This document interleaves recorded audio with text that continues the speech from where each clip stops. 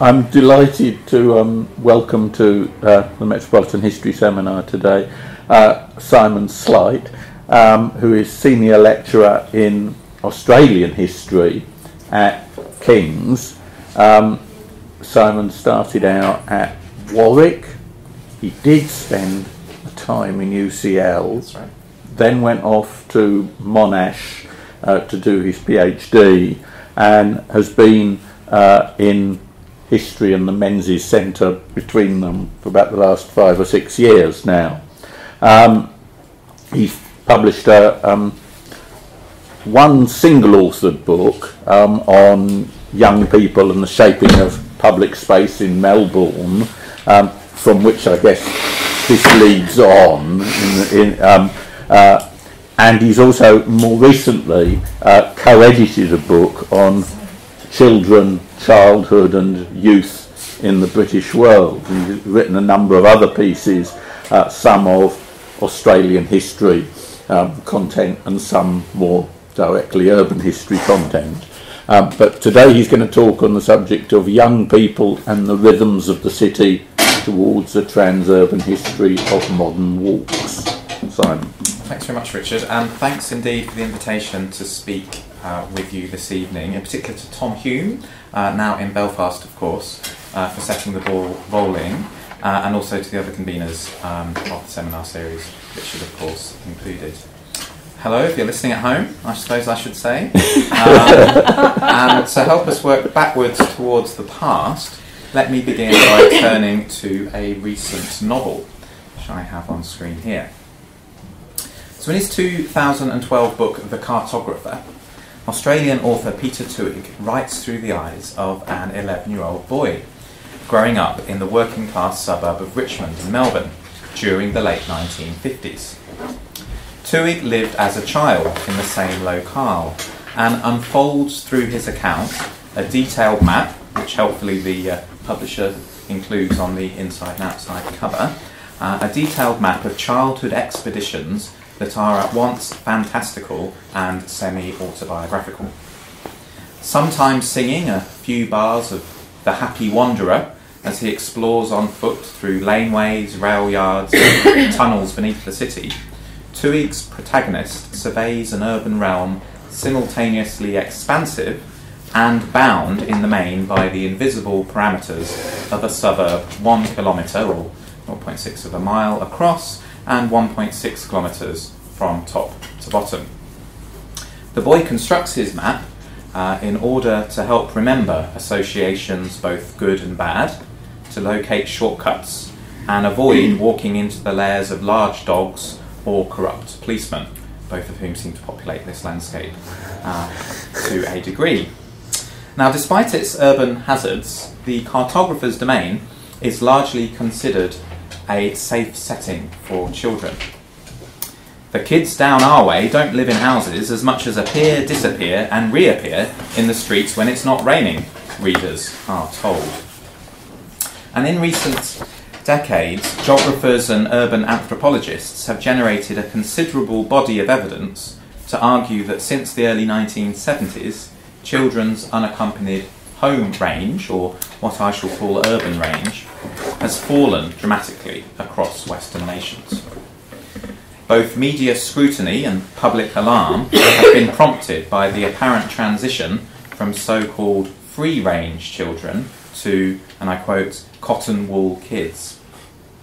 The change, one British newspaper reported in 2007, can be discerned in dramatic form across four generations of the same Sheffield family. So here we have the uh, areas of um, activity of uh, a grandfather, which is the biggest uh, one you can see there. I know it's going to be quite small at the back. Um, uh, or rather, the great grandfather, uh, the grandfather, uh, the son who is only allowed to walk on his own to the end of his own street 300 yards. Don't often get to show a slide from the Daily Mail, but there we are.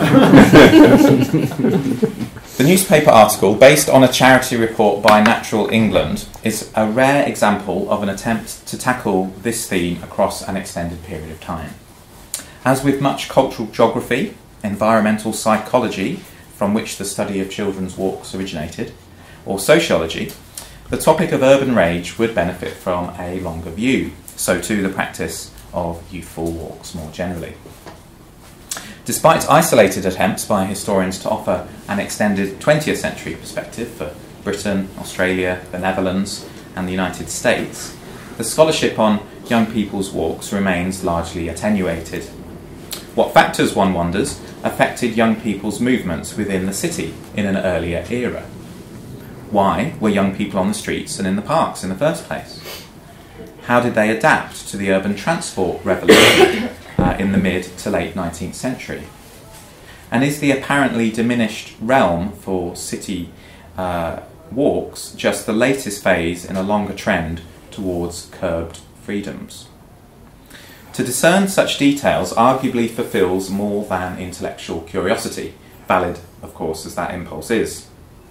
For if capability and mobility are indeed related, something asserted by geographer Tim Cresswell, based in part on the activist writing of Amartya Sen, then adults ought to want to know about children's modern and not so modern walks. Any insights we can glean promise to cast light on how children and older youths experienced the city and how they were regarded as historical agents. What I hope will emerge from my discussion here is the absolute centrality of children's walks to the historical urban scene. Though dwelling in a world of scattered horizons and circumscribed by factors of class, age, gender, and ethnicity, young people have long stepped out into the public domain. And I've got a staggered quotation on screen for you now, which I hope you'll read along with me.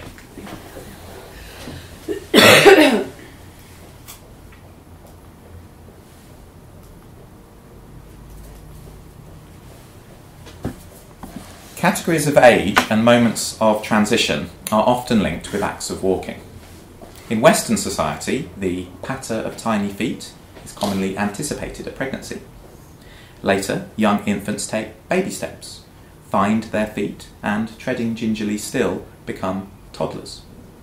For courting teens, walking out once composed a common ritual of historical socialisation, whereas in traditional Aboriginal communities, the trial of walkabout saw adolescent boys prepare for the duties of adulthood. Older again, stepping out into society is a phrase associated with leaving the parental home, while for many couples, walking down the aisle has long marked another significant departure.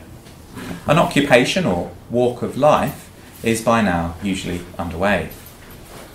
That life lived, and the journey almost at an end, a pair of last legs carry the individual towards the inevitable. So, if a language of walking punctuates the life course, only the most observant have drawn the connections in a self reflexive way, or situated them historically. Hal Porter's close associations of world events, the dawning of conscious memory, and walking are hence unusual. But it is possible to historicise the practice, and in so doing, mine writings on walking for evidence of experience. And so this paper attempts this for a number of city spaces from 1850 to 1914, with young people around whom coheres much of the terminology of walking, yet scant historical scholarship forming the focus. So the period under analysis bears witness to two distinct shifts identified by historians. The decline of what has been termed the walking city, and the slow but significant change for the general populace from walking by necessity to walking by choice. The walking city is a term coined by American scholar Sam Bass Warner in 1962 in this book, and it referred in its first iteration to the city of Boston in 1850. At this time, Warner observed, the overwhelming majority of Bostonians lived within a two mile uh, radius of City Hall and within walking distance of shops and workplaces. Moreover, at mid century, Boston was, quote, a city which depended on walking for its means of transportation. By 1870, however, the sudden rise of Boston's streetcar suburbs had altered the patterns of city life fundamentally. With the metropolitan area now 14 times larger than it had been just two decades earlier, the walking city was effectively at an end. Warner's concept has since been applied to cities including New York, Melbourne, and London, the three locations from which, in varying proportions, I draw my evidence this evening.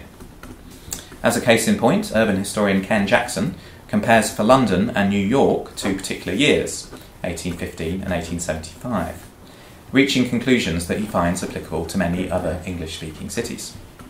In the earlier moment, London, then the world's largest city, housed some 800,000 people, each, if fit and mobile, able to walk easily from the city's edge to the centre, a journey of just three miles. Here and elsewhere, Jackson observes, the walk to work was usually in fact much shorter than this, at less than a single mile. As in Boston, by the 1870s, everything had altered. The desire for social differentiation, together with new forms of mass commuter transport, meant that cities like London and New York had turned inside out, with the well heeled now choosing to live outside the centre, together with those who could afford to commute from the new suburbs. For Melbourne, the walking city has been argued to have persisted for another few years, until about 1880 in the estimation of Bernard Salt, before the effects of the same transition became pronounced. In each city, it should be stressed, many adults continued to walk to work at century's end, and indeed well into the 1900s. But the journey to work on foot was no longer a near universal experience, and the city limits moved outside the easy reach of pedestrians. The issue of choice is also central to the second shift mentioned just now the rise of walking by virtue of pleasure rather than necessity. Arguing for the change in his history of walking, Joseph Amato, in this book on screen, identifies groups including ramblers, mountaineers, romantic writers, and window shoppers as exemplifying a new freedom. Amato's contention is that such leisurely pursuits came late to the urban working class, or perhaps equally apt in the 19th century, the walking class. Mm-hmm. Instead, most city dwellers, quote, came and went on foot at the command of their superiors, and were often looked down upon for such exertions. Using literature as a source, Amato also extends the lifespan of the generic walking city, though without using the term, uh, to up to and even after the First World War. Such, he argues, was the power of pedestrian based localism. Providing some statistical evidence to support this contention, Amato notes that in 1906 only around one in four working Londoners took the train, tram, or bus to work. In order to address some of the scholarly, uh, some of the scholarly debates on walking cities, three inner urban precincts are brought into comparative view in the succeeding analysis. In a recent intervention contained within this book called Another Global City, Andrew Brown-May has demonstrated that from around the 1860s to the 1920s, and by inference beyond, municipalities around the world shared certain aspects of civic culture. Precincts of the global city, the urban landscapes produced in each location, from civic institutions to metropolitan parks and busy thoroughfares, were characterised by a discrete number of variables hence rendering them amenable to meaningful comparison. Now, this is decidedly not to assert that 19th and 20th century Sydney was essentially the same as Salford, or Boston the same as Birmingham, but it is to defend the utility of the comparative project begun by Asa Briggs as long ago as 1963 in his famous book Victorian Cities. Hence, while drawing the bulk of my evidence from the meticulously kept Civic Archive of Melbourne, in what follows, I also bring to bear selected primary and secondary material on London in particular and on New York. Though certainly different in scale, there's a few figures for you, the urban fabric and social conditions of the three historical locations were not so dissimilar. Indeed, on numerous occasions in this era, town clerks in each municipality sought through correspondence with their overseas counterparts guidance on shared urban concerns such as how to regulate juvenile street trading. Later, uh, uh, the, the problem of uh, jaywalking, which was something that first concerned Americans. Ranging widely, I follow the trails of young people where they are best preserved in these settings. Operating on often tight margins, young people were less able to afford the fares for the new trams, trains, or streetcars that began thickly to populate urban streets and railway cuttings from the mid 1800s. In an era before effective enforcement of compulsory schooling, youngsters were also to be found on foot everywhere in the outdoor city, working, flirting, and exploring. These self initiated activities hold my interest here, in contrast to the organised marching and processions about which I have published uh, elsewhere. Before setting out in historical pursuit, I offer next an important note on my use of the term young people and similar age related designations. As scholars of youthful practice acknowledge, age is both a qualitative experience and a chronological category. Historically contingent and cross cut by factors of gender, class, and ethnicity, among others. Not until 1898 did American educationalist G. Stanley Hall begin to popularise the modern notion of adolescence, which Hall argued extended from 12 to 21 in girls and from 14 to 25 in boys. You can already get a sense there of the gendered aspect of this. Before this time, social commentators describing young people in the urban settings assessed here grasped at a shifting series of terms street urchin, gamin, gutter snipe, street rat, larrikin, hoodlum, hooligan, and others to define what they regarded from the 1850s as a rising social problem and public menace. While I avoid the negative stereotyping redolent of such language, I do embrace some of this vocabulary, especially in instances such as larrikin, where the term could also be a self description, and focus on adolescent youthful experiences in the sense defined at the time by Hall. As well as this, my subject group also extends backwards from adolescence to include those toddling in public spaces or trooping off to primary school. And so to the first of a number of sections. How can we know about young people's walking practices in cities past? Walking leaves relatively few traces in either street or archive, and the difficulties reported in tracking women's historical movements across city spaces are at least as pointed where young people are concerned. As noted before, the historical language used to describe walking must first be considered and penetrated. It might be possible, for example, to read from criticisms of gait and posture inferences about normative practice. Hence, the episodic censure of walking habits in the Melbourne press, where boys were attacked for their allegedly slouching and slovenly gait, young women rebu- uh, rebuked for their casual saunter with heads thrust forward or inclined together to facilitate conversation, and the appearance of turned in toes and a limp crawl blamed in 1914 on women's restrictive clothing. Well, these and other descriptions suggest by their obverse modes of carriage considered correct.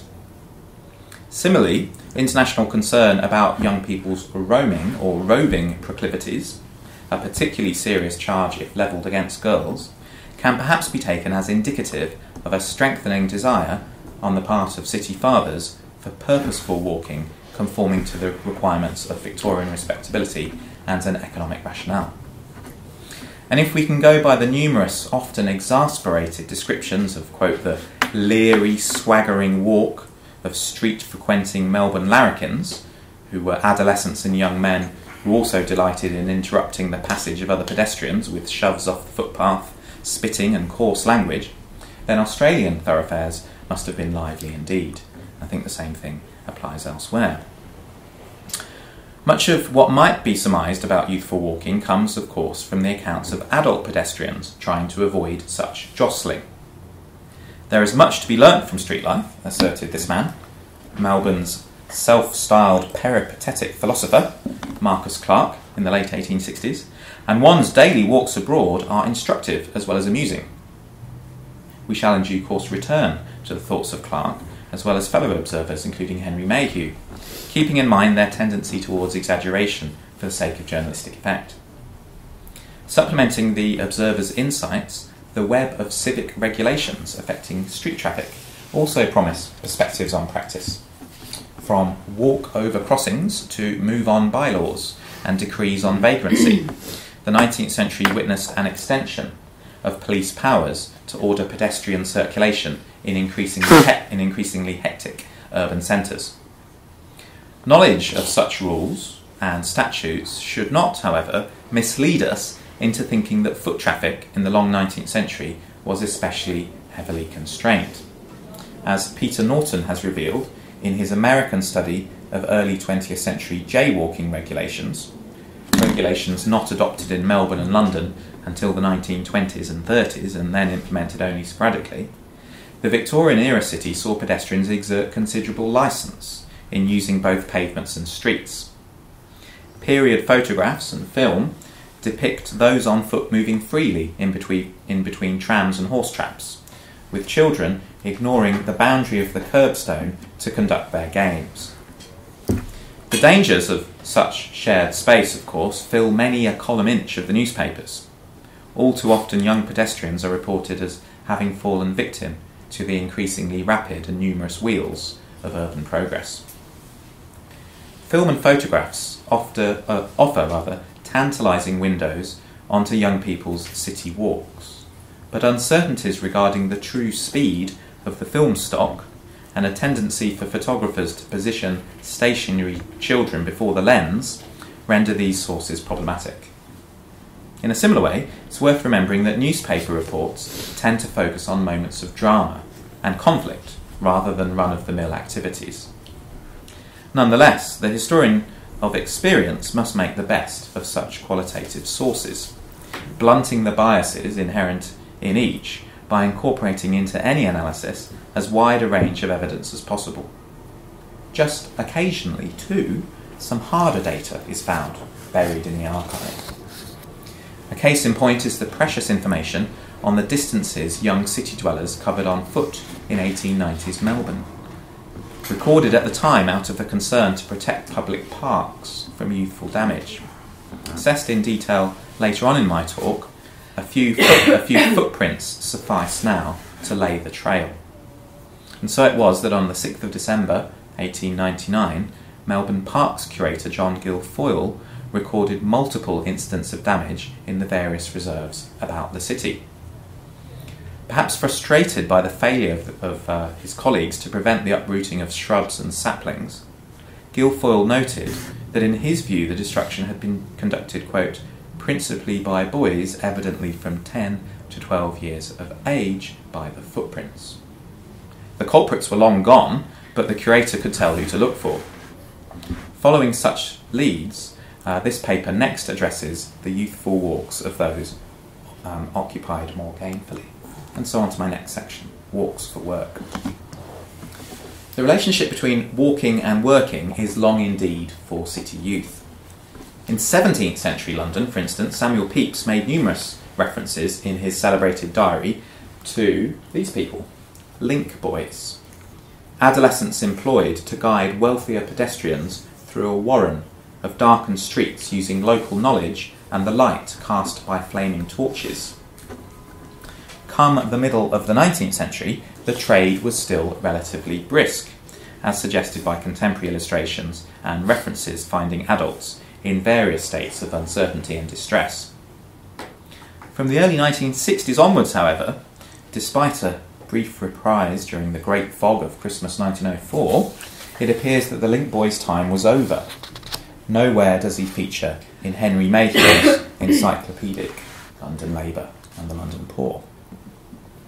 Nevertheless, Mayhew's four volume survey does provide a wealth of detail on the extent of the capital's wandering tribes, as he calls them, some of them seen here. An army of itinerant workers also taking to the streets to eke out a living. Across several hundred pages, and believe me, I've looked through them all to, uh, to find the, the right bits, uh, we encounter boys walking alongside their costermonger fathers and barrows of produce, girls in their mid teens hauling their wares for eight to ten miles a day, and among many other accounts, a report of a young chimney sweep earlier in the century forced by his master to walk the five miles from Wanstead to Walthamstow carrying all his equipment. For all of these occupations, both topographical understanding and a reasonable level of fitness must have been required. Such walks bestowed a measure of independence too, but often little real freedom. Famously, an eight year old watercress seller knows the route of her round, Mayhew comments, but nothing of the parks that lay just beyond. Across the seas in Melbourne and New York, young people were also involved in a great variety of peripatetic trades.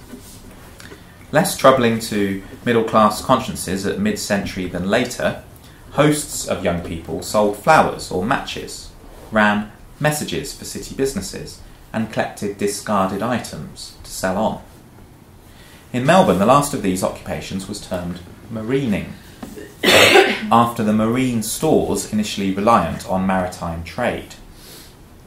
An air of, sim- uh, an air of semi-legality clung to the activity and prompted legislative scrutiny from 1876 onwards.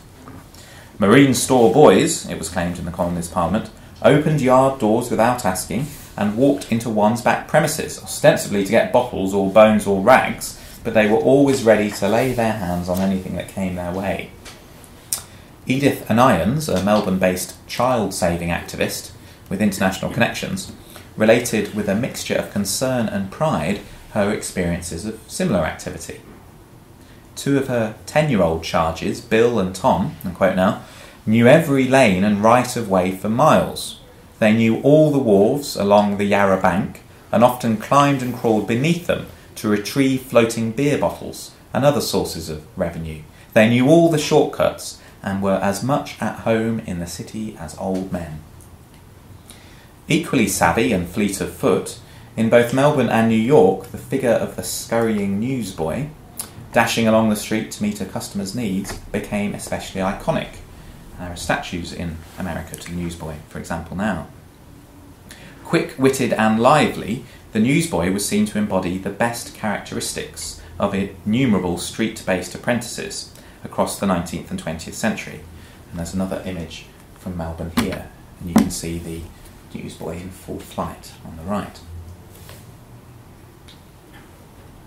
By contrast with the pursuits of their brothers, girls' street trading activities provoke consistent alarm on the part of middle class observers. Outnumbered by the boys, female street sellers peddling flowers, in particular, and less regularly newspapers, watercress, or matches, everywhere faced accusations of hawking their virtue as well as their wares. They were sometimes, as in this image, portrayed in sexualized terms too, and cast as fallen girls, pseudo streetwalkers. So one has to ask what is for sale really in this image. Older female factory hands en route to and from work shared these street spaces, attracting a measure of concern and often scolding criticism, particularly for their dress. In 1891, 98, and 1916, a coalition of child savers and legislators in Melbourne attempted to prohibit females under specified ages, varying from 16 to 18, from selling in public, while restricting the age of male entry to the street marketplace to just 10. Evening roaming, as it was called, of the streets was also targeted for both sexes, albeit that no uh, thoroughgoing treatment of street trading was enacted there until 1925. Anxieties about the time of day when young people could be found on foot around the city remind us that outside the winter months, walks for work were principally daylight activities. Yet not all juvenile work involved earning money, and a second category of excursions on foot, errands, were probably more evenly distributed around the clock and throughout the whole week. In this wonderful book, Anna Davin notes a variety of such activities for London between 1870 and 1914. Sundays, for instance, saw children in 1890's Camberwell carry joints and pies to the bakers for heating. While in Alice Lewis's Chelsea household of nine, one child or another would be tasked with walking to Harrods, pillowcase in hand, to buy three loaves of bread before moving on to stock up at the fish shop and the butcher's. At other times, girls especially were directed to street markets to haggle for produce, while the sending of a child to run a message, fetch someone, or pick up an item was commonplace. Children brought back beer from the pub too, much to the chagrin of temperance campaigners, and this very rare photograph from Liverpool records this practice. Elsewhere, back in London, young Arthur Harding, growing up during the 1890s in the notorious Nichol, an area of acute social deprivation in East London, regularly walked the half mile to Spitalfields Market to scavenge for wooden packing crates and waste potatoes, or else to carry quantities of lemons for his elder sister to sell on. He was just uh, six or seven at the time of that. His sister's list of errands further included regular walks to the local butcher's seeking faggots, an, expen- an inexpensive item for a family meal. In New York and Melbourne, a similar economy of favours, also usually unpaid, operated.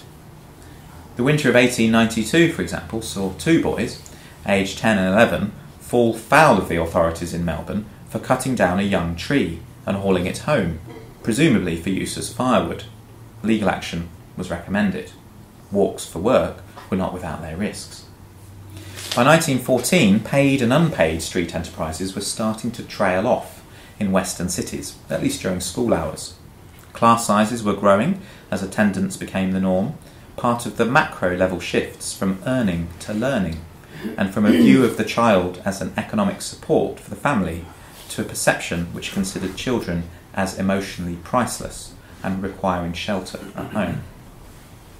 On to my next section walking and courting. With work over, school concluded, or the weekend upon them, young people returned to the streets for another series of city walks. When they described going out or walking out with one another during the long 19th century, the language used was apt and deliberate.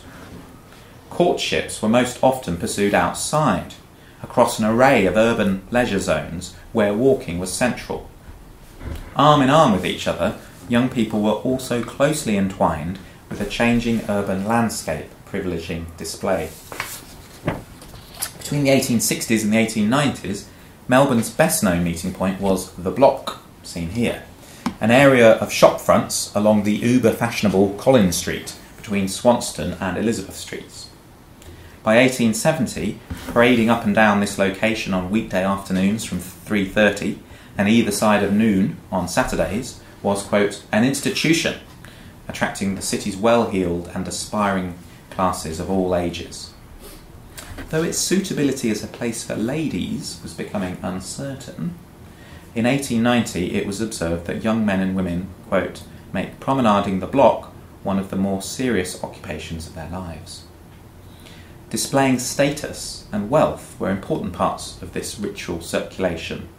So too were coded stares, coy behaviour, and the forming of new acquaintanceships. This then was a setting for the better off to meet and to walk.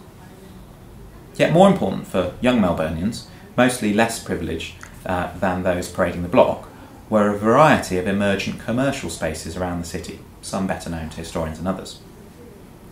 In 1883, a journalist from the Sydney Morning Herald visiting Melbourne described the working class frequenting here, the Esplanade, in beachside St Kilda on Sunday afternoons. An influx, an influx rather, that dramatically accelerated with the extension to a once prestigious suburb of tramlines in 1888. It was here, Melbourne autobiographer Elaine MacDonald observed, see her here in her childhood years, it was here that servants and working girls had their social life, the equivalent, she said, of garden parties and races.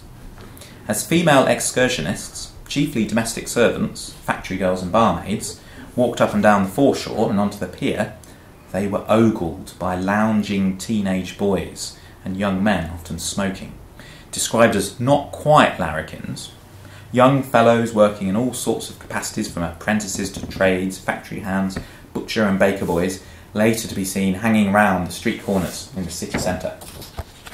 In 1895, the columnist Clio surveyed an evening St Kilda crowd, uh, crowded principally by the straw hatted youth and his companion, sweet 16, with short skirts, obviously tight stays, and carefully frizzed hair.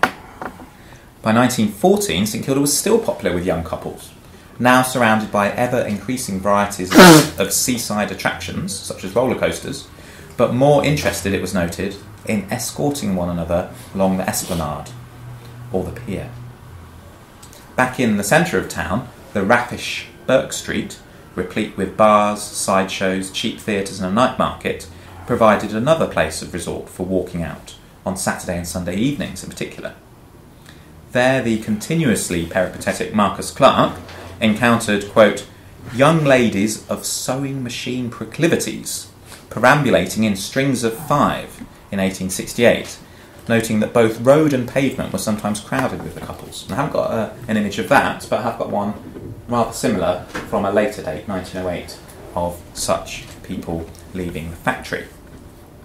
Similar observations to Clarke's were made 10 years later, although by the first decade of the new century, the focus of Sunday evening activities seemed to have switched from Bourke Street to here, Prince's Bridge, which you can see in the lower image, uh, adjacent to Flinders Street Station, which is in the upper image.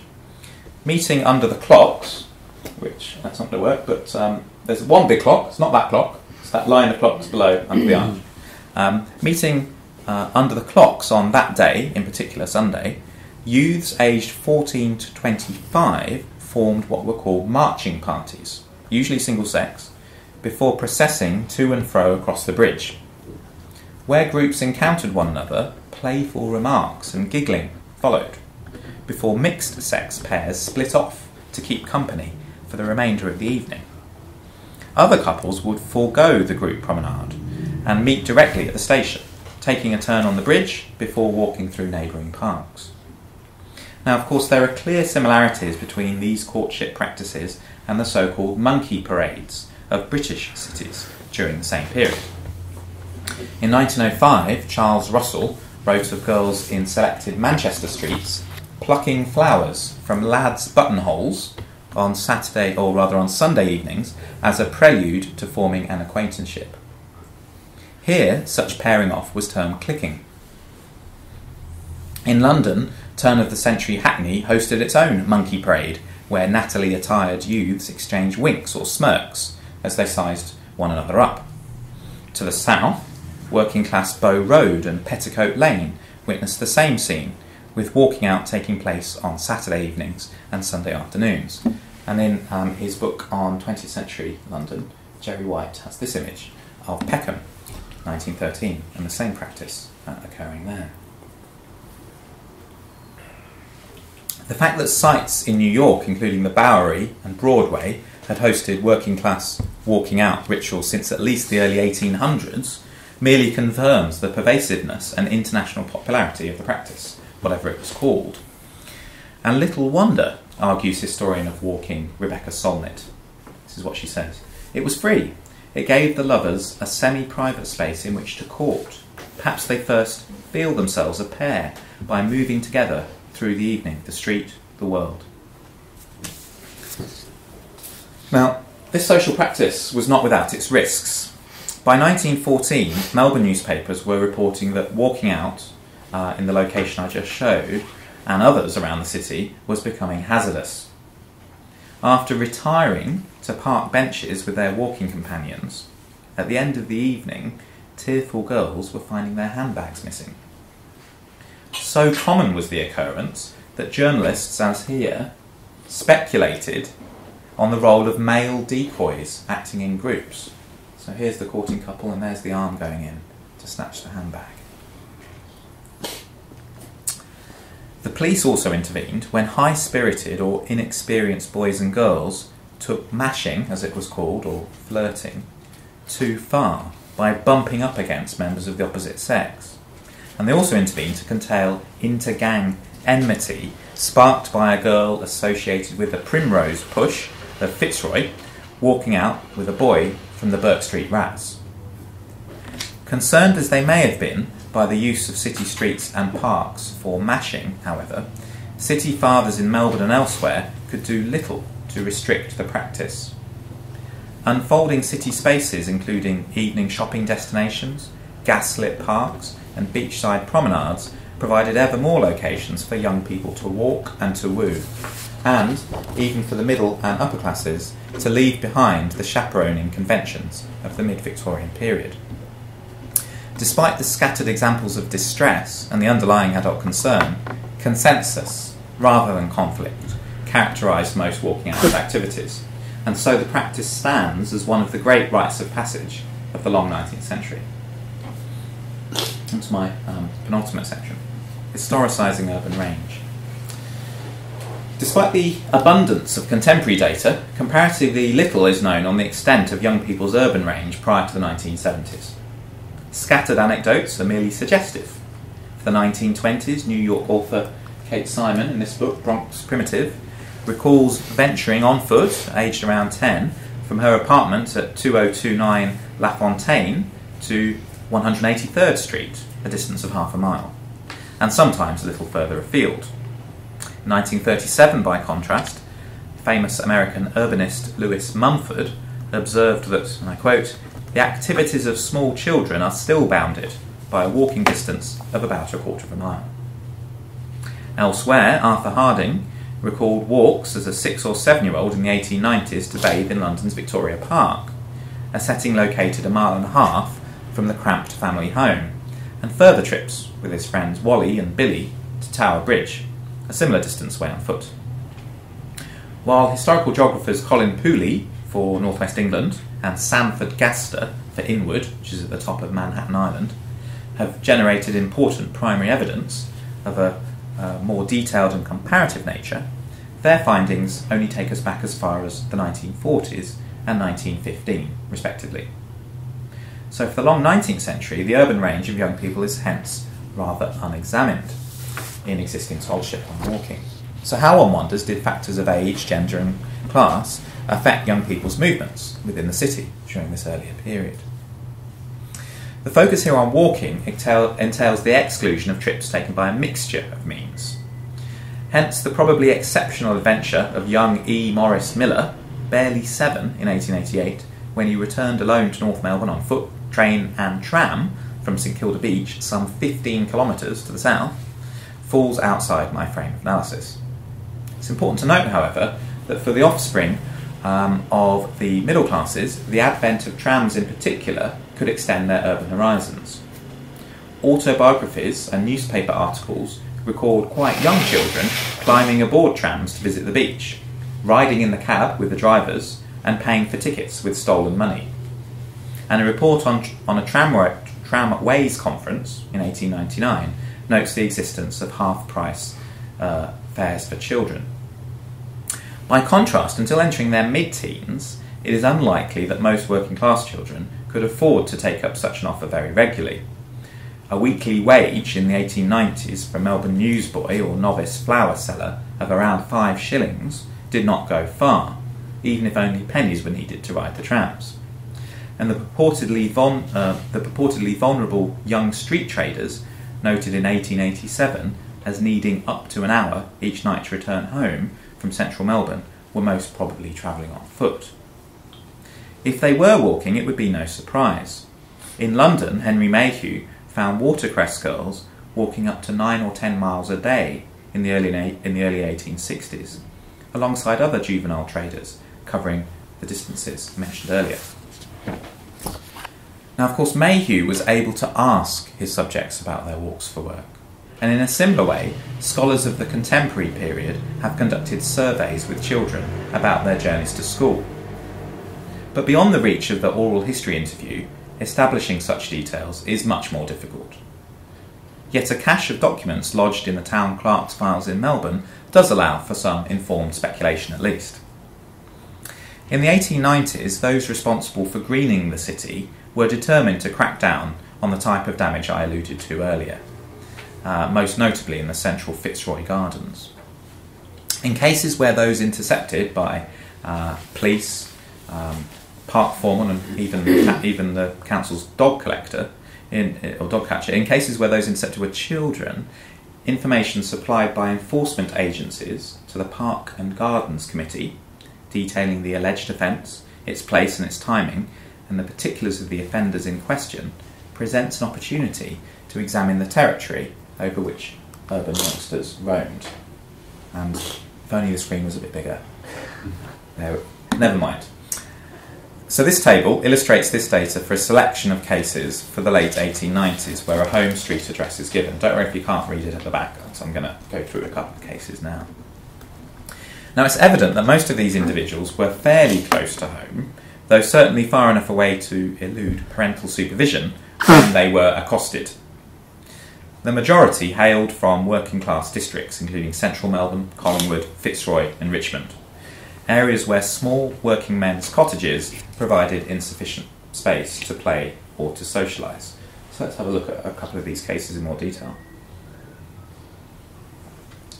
Bertie Hoey, aged 10, resided in Collingwood's Victoria Parade.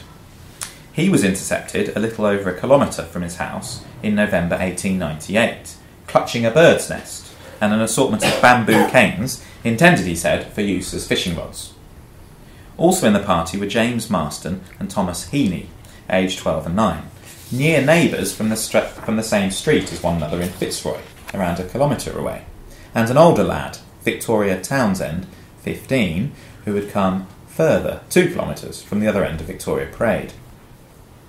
John Hennessy, by contrast, was unlucky in being apprehended alone in December 1900 for damage caused to shrubbery during a game of hide and seek. It's not a game that's best played on your own. You'd be waiting a very long time.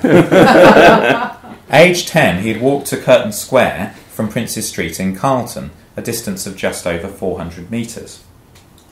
Now, as you'll see, hopefully, boys dominate this list of alleged offenders and often frequented the city's green spaces in groups. As they matured, increased confidence prompted them to venture further afield, and it's surely no coincidence that the longest journey recorded on the list, 3.15 kilometres, was undertaken by the oldest individual, 16 year old John Carroll.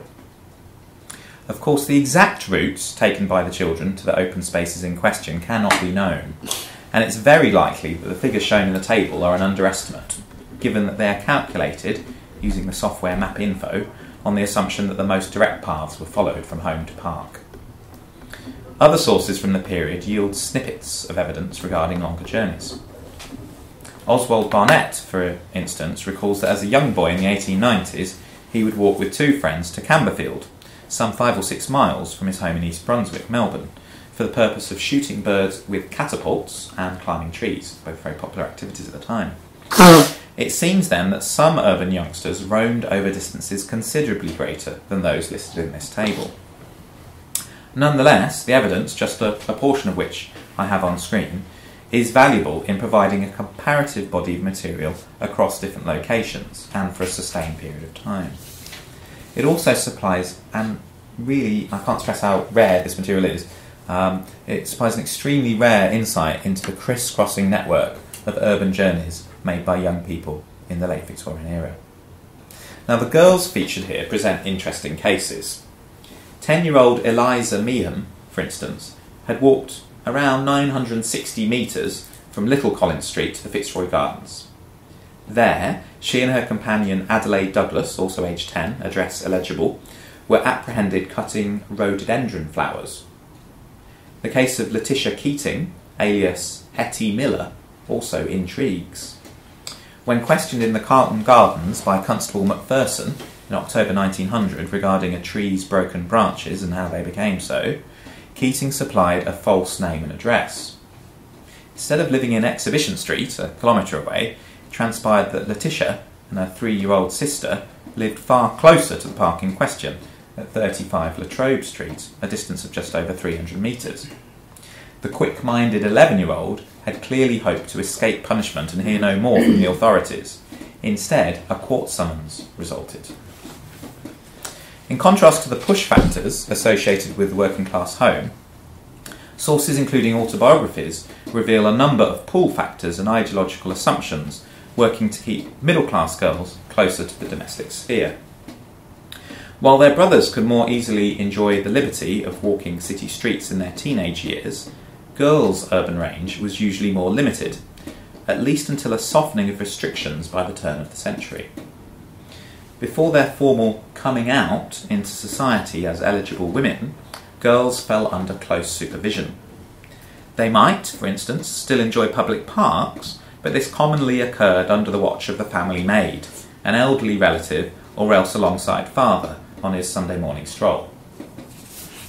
Kept on a tight rein, for example, for Mabel Brooks, a detested punishment consisted of being marched around the botanical gardens by her grandmother passing other children who were allowed to play games. Mobility, recent scholarship has illustrated, is a thoroughly gendered privilege. For younger middle class children like Dorothy Moore and Mabel Brooks, walking was associated with fairly strict boundaries. Only those less concerned by notions of respectability, or by century's end, girls in their teens, could embark upon city walks which approximated to those of their brothers, and even then, they ranged less far. And so to some conclusions.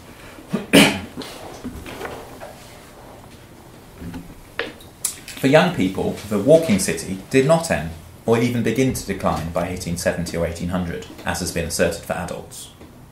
In Melbourne, London, and New York, it lived on into the 20th century.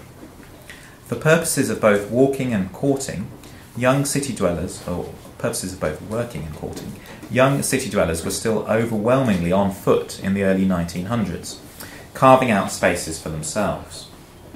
Sometimes they claimed the footpath as their exclusive domain, such as when a group of factory girls in turn of the century London were encountered, quote, walking arm in arm, singing and shouting and pushing other wayfarers off the curbstone. At other times, they merged into everyday foot traffic or found pockets of space, particularly in parks, to conduct their games or pursue their courtships. Throughout the long 19th century, young people's urban walks followed shifting patterns. A variety of leisure zones were frequented at particular hours and on different days. The resultant pedestrian congestion further attuned to the rhythms of the seasons. By morning and evening, troops of youthful street traders came and went, chasing adult footfall in the intervening period as they sought to sell their wares. Across a variety of metropolitan locations, such outdoor activities were regulated only lightly until the 20th century, until well into the 20th century indeed. Especially in the summer months, truants in each of our cities searched on foot for adventure and play, while more obedient younger children were sent on errands throughout the year and at any time of day. The onset of compulsory education from the 1870s did have a gradual effect on the numbers of school age children to be found in and around the streets, but not on their locomotive habits. Growing numbers of children walked to their lessons by 1914, and, uh, and that's an activity recalled fondly by many in diaries and autobiographies, and one that continued largely unchecked for city children until the era of the car based school run in the later 20th century few young people ever ran completely free. Factors of class, gender, and age circumscribed their urban walks in the long 19th century, and historians must resist the nostalgia that imbues some contemporary um, accounts which outline declining autonomy. In cities that increasingly privilege circulation by pedestrians, as well as new forms of transport, a tangle of regulations sped up the pace of urban living, moving the loiterers on and increasingly redefining social street spaces as transit thoroughfares. There were certainly more rules, but by 1900 there were also more freedoms, especially for girls and young women of all backgrounds. Amidst such changes, there were also continuities. Points of age related transition continued to involve walking. Young people most often walked to school or to bypass the school gates by playing truant. They walked into the world of work and they sought romantic encounters on foot. Some young people did embrace the transport revolution taking place around them, yet for most young city dwellers, in 1914 as in 1850, the city remained a site for walking.